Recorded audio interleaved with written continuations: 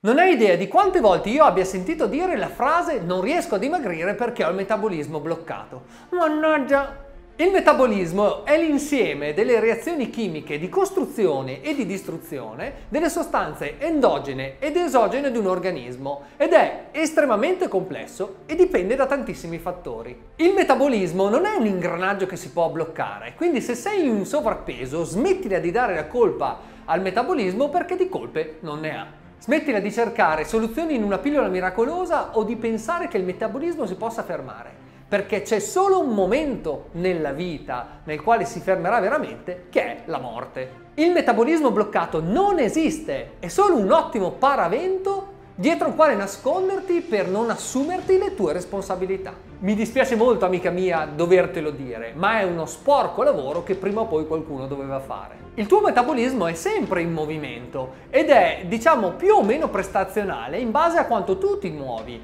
È direttamente proporzionale al tuo movimento. È tutto molto ma molto semplice e adesso ti spiego come diventare una macchina bruciagrassi e dimagrire alla velocità della luce.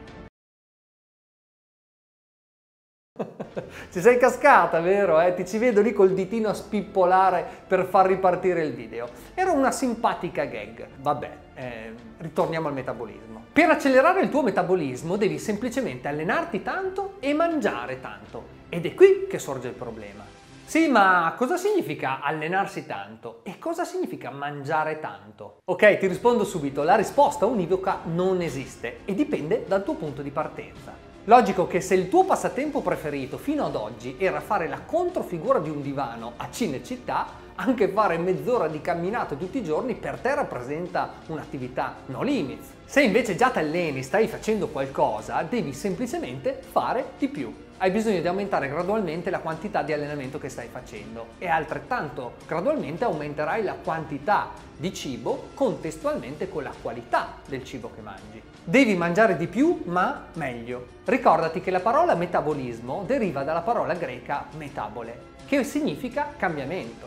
E se vuoi diventare veramente una donna magra, bella, tonica, in forma per sempre, lo devi accettare il cambiamento. Devi cambiare le tue abitudini di vita, devi cambiare il tuo modo di allenarti, devi incominciare a muoverti di più anche nella vita di tutti i giorni e devi cambiare anche la tua strategia alimentare. È tutto qui, non c'è niente di difficile in tutto questo, se non fare il primo passo per dire addio all'ozio, alla pigrizia, al cibo spazzatura, alle scuse.